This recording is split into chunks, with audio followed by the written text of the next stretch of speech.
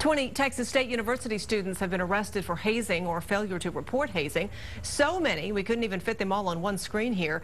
Police say Zeta Tau Alpha members picked up pledge girls, drove them over to the Sigma Nu fraternity apartment where they were told they were blindfolded, told to strip to their underwear, and then forced to drink alcohol to the point where some became sick.